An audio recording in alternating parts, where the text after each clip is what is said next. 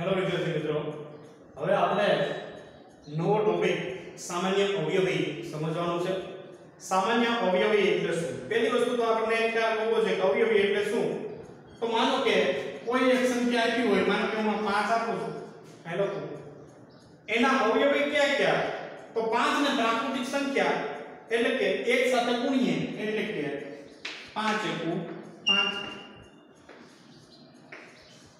બીજી પ્રાકૃતિક સંખ્યા એટલે 2 5 ગુણ્યા 10 ત્રીજી 5 તેરી પંદર 15 ચોથી 5 ચોક વીસ. 20 તો આવી રીતે અનંત સંખ્યાઓ મળે. તો પાંચના અવયવી એટલે કે પાંચને પ્રાકૃતિક સંખ્યા વડે ગુણતા જે આ જવાબ મળ્યો, એને આપણે અવયવી કહેવાય છે, બરોબર? સામાન્ય અવયવી એટલે શું? એ સમજીએ. કે માનો કે કોઈ બે સંખ્યા આવી હોય અને એના આ બે સંખ્યાને પ્રાકૃતિક સંખ્યા વડે ગુણવામાં આવે અને જે કિંમત મળે, એની અંદર બંનેમાંથી જે સામાન્ય હોય, બંનેમાં હોય એવી સંખ્યા. બરોબર? તો જોઈએ કઈ રીતનું.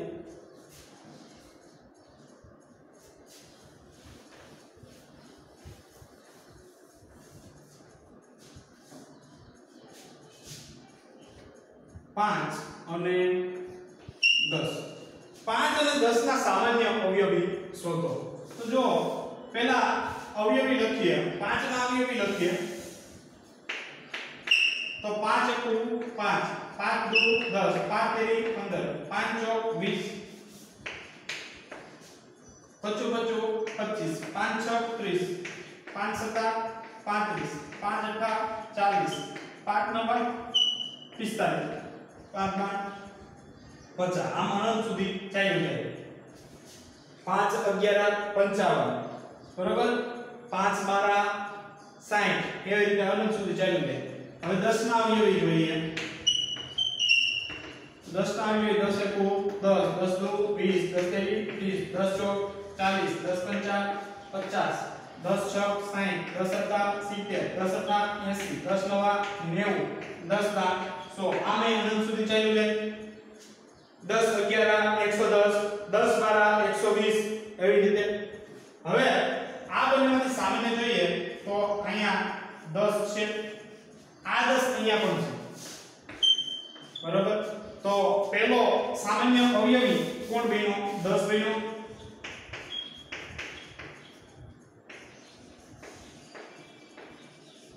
સામાન્ય અવયવી એટલે કે 10 પહેલા. બીજો સામાન્ય અવયવી એટલે જો અહીં 20 છે. અને અહીંયા પણ 20 છે. તો અહીંયા બીજો સામાન્ય અવયવી 20 પછી અહીંયા 30 છે. તો અહીંયા પણ 30 છે. તો 30 સામાન્ય અવયવી 40 અહીંયા છે. તો અહીંયા પણ 40 છે. એટલે 40 એનો અવયવી, સામાન્ય અવયવી. અહીંયા 50 છે. તો અહીંયા પણ 50 છે. એટલે 50 પણ સામાન્ય અવયવી.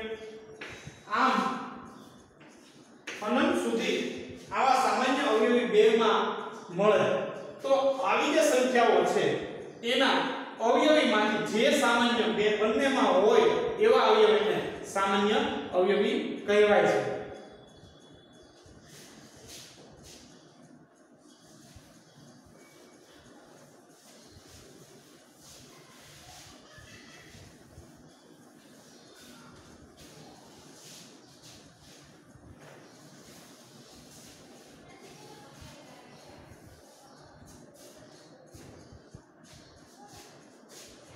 સાત અને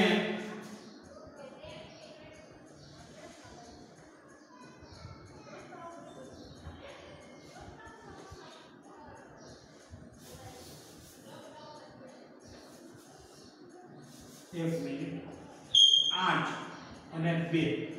ના, સામાન્ય અવયવી શોધો. એવું કીધું હોય તો આઠ એકુ આઠ. અવયવી અહીંયા લખીએ પહેલા.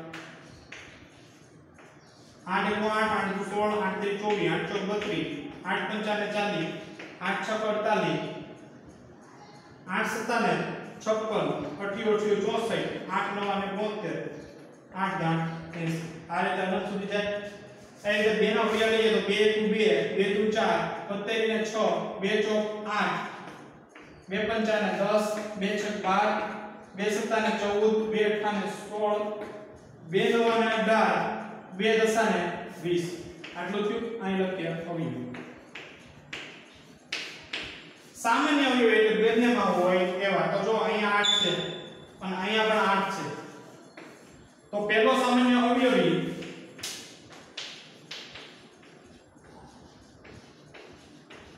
એટલે કે 8 બીજો સામાન્ય અવયવી એટલે કે અહીંયા જો અહીંયા 16 છે, અને અહીંયા પણ 16 છે.